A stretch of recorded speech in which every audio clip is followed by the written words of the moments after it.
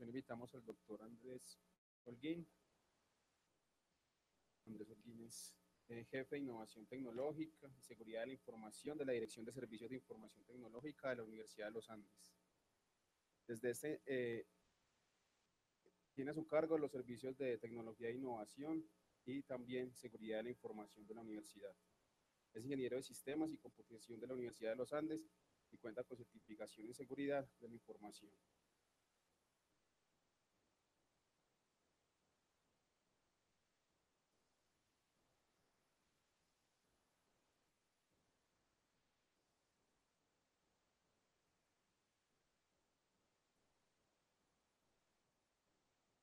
A todos, muchas gracias por la invitación. Eh, yo estoy aquí como, juego como el bueno y el malo. La idea, y por la razón por la que tengo los temas de seguridad y también los temas de innovación e investigación en la universidad es para lograr el balance que se necesita entre los tres temas y para resolver principalmente el reto eh, que nos tiene hoy, es el tema del acceso libre a la información. Entonces, en la universidad el primer reto que tuvimos fue que eh, aparecieron un montón de personas con un montón de datos que antes tenían que entrar o a construir o a conseguir en un convenio con otro investigador, pero ahora están libres para que ellos puedan acceder a, esta información. Eh, y por eso nos tocó empezar a buscarnos la forma de articularnos para que esos datos puedan ser procesados. Entonces, gran parte de lo que hay con el acceso libre a la información es artículos, revistas, eh, diferentes fuentes de, conocimiento para, para, leer, pero también hay muchísimos datos para ser consumidos y procesados eh, por otros investigadores. Eh, y nos inventamos que en la universidad, perdón por la letra, y otra de los tipos de letra, nos inventamos una cosa que se llaman los centros de servicio para investigación. Entonces, tenemos todo lo que es microscopía, bioterio, secuenciación, de alto desempeño, eh, inicialmente muy orientado hacia el tema de la biología, pero también estamos mirando hacia qué otras eh, áreas del conocimiento nos podemos mover para ofrecer esas capacidades eh, de manera centralizada, para que sean accedidas para todos los investigadores y también para descubrir cuál es la forma en que esta cuenta de estos servicios se va a pagar. Alguien tiene que pagar el acceso a estos servicios. Entonces también hemos venido discutiendo cómo se accede a esta información. Eh, ¿cómo, hemos venido trabajando en lo que tiene que ver con cómputo avanzado? Pues lo que nos inventamos es que hay un comité de las facultades, eh, quienes determinan qué es lo que es pertinente y qué es lo que no es pertinente para ejecutarse en estas infraestructuras que tenemos abajo. El problema que teníamos antes es que llegaba el profesor con sus datos y le decía a DSIT, yo quiero correr estos datos. Y yo como DSIT, un área administrativa, tenía que entrar a entender si ese proyecto era más prioritario que el del otro profesor. Entonces yo no era pertinente en esta película. Entonces lo que nos inventamos aquí es que a mucho más alto nivel, más cerca al profesor, ellos den los debates, eh, determinen si ese proyecto es prioritario o no para la universidad, para su departamento, para el país, ya, pondrán los drivers necesarios. Eh, y a través de la Vicerrectoría de Investigaciones canalizan esto para que esos datos sean procesados en, la universidad. Entonces, ¿qué logramos a este nivel? Eh, entonces logramos acuerdos entre las facultades y la vicerrectoría. Y esto es realmente complicado porque se puede volver mucho más enredado cuando hay profesores que están fuera de la universidad. Entonces, cuando hay profesores de otra universidad involucrados en un proyecto de investigación con o sin dinero que requieren usar estos recursos que están aquí abajo, eh, pues la cosa se pone tensa. Eh, y esos acuerdos se logran a muchísimo más alto nivel, de tal manera que no nos tenemos que meter como área de tecnología y área administrativa a determinar cómo se manejan esos datos. Después yo lo único que tengo que generar es lineamientos técnicos de cómo se usa esa infraestructura.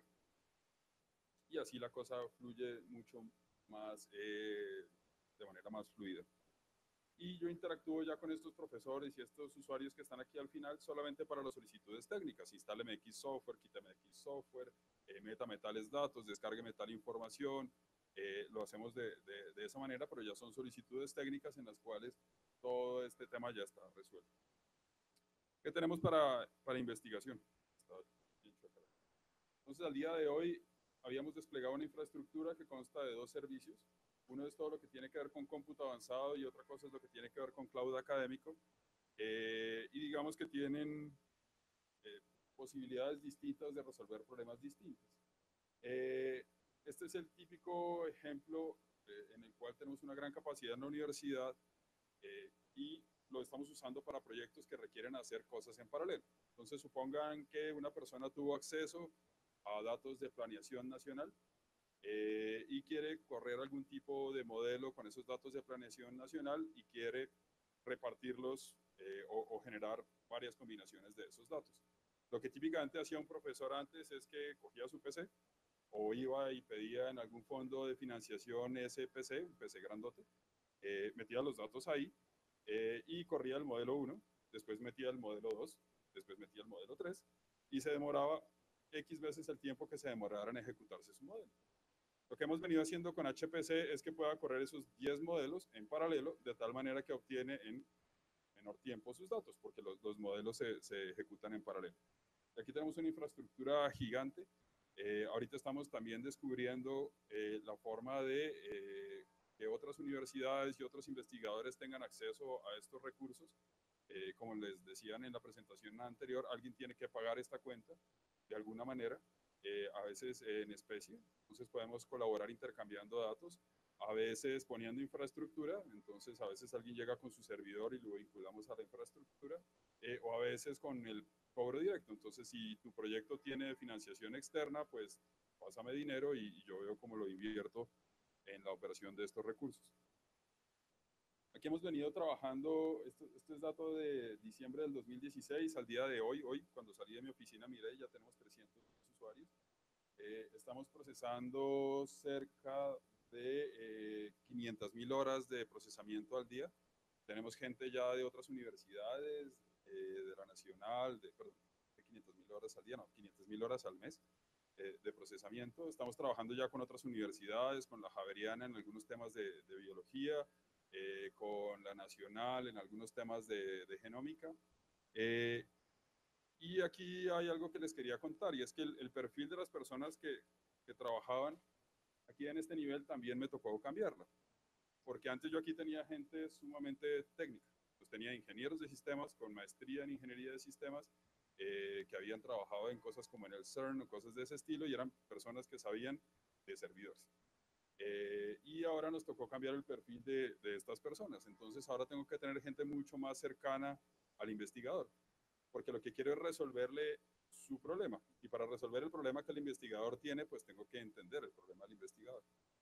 Eh, entonces, por ejemplo, ahora en mi equipo tengo un ingeniero de sistemas que sabe de, cómputo avanzado, pero que ha trabajado muchísimos años del lado de la, de la investigación. Eh, tengo un biólogo tengo biólogo, es biólogo, microbiólogo y biólogo computacional, eh, que no tienen idea de qué hay por debajo en los fierros, pero sabe cómo resolverle los problemas a los biólogos. Y en ese orden de ideas a mí también me tocó cambiar, entonces yo ya eh, me olvidé de todo lo que sabía de seguridad, o por lo menos estoy estudiando tan a profundidad y ahora estoy haciendo la maestría en biología computacional, para entender en realidad el problema del usuario qué significa tener una gran cantidad de datos, tener una pregunta científica y querer con esos datos resolver una pregunta científica usando una infraestructura que está, que está por debajo. Eh, y por eso nos inventamos este otro problema. Entonces, este, esta otra solución. Entonces, mucho del software que usan los investigadores no es software creado con la rigurosidad que esperaríamos los ingenieros de sistemas. Eh, es software hecho literal señor investigador aprendió a programar en Python, Java, lo que se les ocurra, eh, y lo pone a funcionar en su PC. Eh, después descubre que puede resolver una serie de preguntas y quiere mejorar su software, eh, y entonces ahora lo va a meter en un PC, pero más grande. Y eso terminaba para nosotros en PCs debajo de los escritorios de todos los profesores. Eh, lo cual era realmente peligroso, porque lo que típicamente pasaba era que ese servidor sufría todas las inclemencias de estar ahí en la oficina, le pegaban patadas, si la oficina se inundaba, entonces el servidor moría, si había un problema eléctrico en la oficina, el servidor moría, eh, si el servidor eh, lo, se lo robaban, se lo robaban, entonces terminaba perdiendo la, la información que, que, había con tanto esfuerzo recaudado el investigador. Entonces nos inventamos esto y ese es lo que llamamos Cloud para investigación. Llevamos año y medio, dos años con esto. Tenemos una cantidad de, grande de máquinas aprovisionadas, como 350 máquinas aprovisionadas. Lo que usábamos en HPC mayormente es para ciencias, lo que usamos aquí es mayormente para ingeniería. Eh, y así hemos venido trabajando. Pero después descubrimos que había muchas oportunidades de mejora. Entonces, de de haber operado estos servicios casi por siete años desde la unidad central, descubrimos que debemos llevar eh, la solución a niveles de seguridad para datos humanos. Entonces no es lo mismo cuando yo meto en un servidor eh, los datos de genoma de una planta, eh, que si bien pueden tener temas de derechos de propiedad intelectual o patentes o cosas de ese estilo, a datos humanos. Entonces no vamos a creer que las aseguradoras sepan cuál es nuestro tema genético y se lo lleven para después decidir que eh, no te voy a pagar la póliza de seguros eh, porque tú sabías que estabas enfermo de X enfermedades de antes y no me lo dijiste. Eh, y eso pasa. lo otro es que cuando uno hace cosas sofisticadas, pues quiere verlas. Entonces, si estoy haciendo un tema de plegamiento de proteínas, donde es importante la estructura y la forma de la proteína, pues quiero verla. Y ahí se nos ha presentado un gran reto y es poder visualizar esa, esas interfaces y esos resultados. Aplica para temas de biología, pero también para temas de administración, cuando estoy haciendo modelos y tengo gráficas que quiero ver, cuando estoy haciendo cubos, cuando estoy haciendo e, ese tipo de representaciones gráficas de la información que requieren procesamiento y calidad para ver. Lo otro es que han aparecido últimamente usuarios que tienen altos requerimientos de cómputo, pero que son tiempos muy cortos. Entonces, ese es el ejemplo típico que les digo de que alguien va a planeación nacional, obtiene unos datos, va a procesar algo por dos, tres meses y después genera un resultado que no necesariamente es un artículo, paper para publicar en una revista, pero que puede resultar en un ensayo o en una presentación o cualquier tipo de cosas de estas. Eh, entonces, también estamos eh, buscando cómo eh, entregar esas capacidades de, de cómputo eh, para que el investigador pueda obtener sus resultados sin yo tener que usar esa infraestructura tan grande. Eh, y lo otro es que si yo lo quiero por corto tiempo, probablemente lo quiero muy rápido, pues porque me levanté los datos hoy y los quiero procesar mañana. Eh, entonces eso también plantea un reto, porque desplegar estas infraestructuras es complejo y estamos investigando cómo hacer este tipo de cosas. lo otro es que queremos crecer bajo demanda. Entonces, estos usuarios típicamente aparecen una o dos o tres veces al año. Si yo despliego una infraestructura muy grande para ellos, pues voy a tener una infraestructura muy grande desperdiciada la mayor parte del tiempo. Entonces, eh, estamos aprendiendo también cómo hacer esos crecimientos bajo demanda. Y estamos buscando, y aquí es donde entra el tema de cloud, como se lo pintan aún en el periódico, eh, de poder juntar infraestructuras que yo tengo en sitio con juntar infraestructuras que yo tengo en la nube para que podamos procesar en cosas elásticas. Entonces te aprovisiono tus 50 servidores por 15 días en la nube. Eh, ya hemos descubierto cómo, esperamos descubrir pronto cómo cobrarle eso a, la persona eh, o a la universidad o a la institución o al proyecto. Eh, y así poder desplegar esa infraestructura. Y lo otro es que queremos monitorear el, el, uso real de estos recursos y la gestión automática. Y es que la persona pueda saber si lo que creó para sí mismo está sobredimensionado o subdimensionado y que yo también comunidad de tecnología pueda saber si y, retroalimentar a la persona que lo está usando y poderlo hacerlo de manera automática. Si yo tengo que crear un caso en una mesa de servicio para que me creen 10 servidores, pues entonces voy a tener los servidores a los 6 meses, en el mejor de los casos. Eh, pero si yo entro a una página web y le digo créeme los 10 servidores y le doy clic y a las 2 horas están mis 10 servidores configurados como quiera, pues aquí hago realidad este, estas dos cosas, y es que yo pueda tener mi infraestructura chiquita a mi medida por el tiempo que, lo estamos necesitando. Y es por eso que creamos algo que llamamos nuestro plan a tres años. En tecnología, planear más allá de eso es complejo.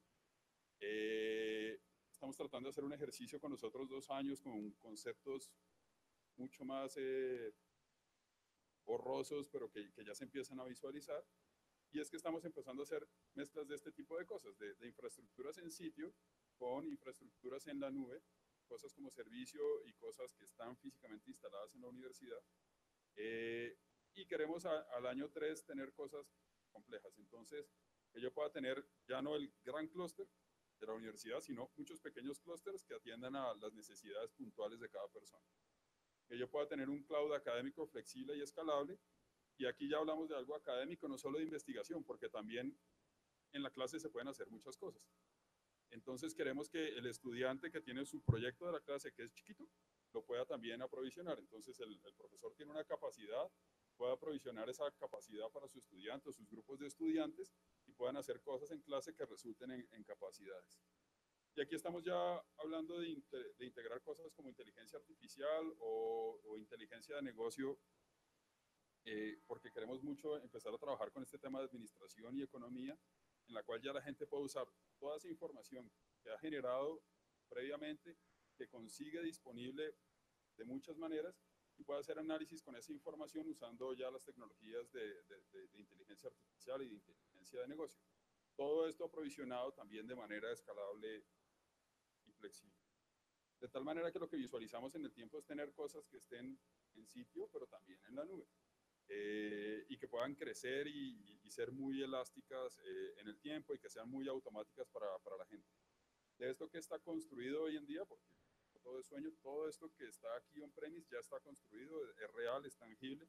Ya hemos hecho integraciones con la nube de tal manera que pueda hacer clústeres pequeños, no al nivel de, de ponerlo, poner, a, a, llevarlo a producción, eh, pero eh, sí al, al, tema de saber que son conceptualmente viables y poderlas poner en una diapositiva y básicamente eso es lo que es para nosotros el reto de, las, de, de la información abierta. Y es poder que cada persona que tenga capacidad de, de, acceder a esos datos gratis, pagados, en convenio con una persona que, que está en su misma área, tenga la capacidad de procesarlos, analizarlos y generar nueva información para perpetuar el ciclo de, de, de mantener la, la, información disponible para todo el mundo.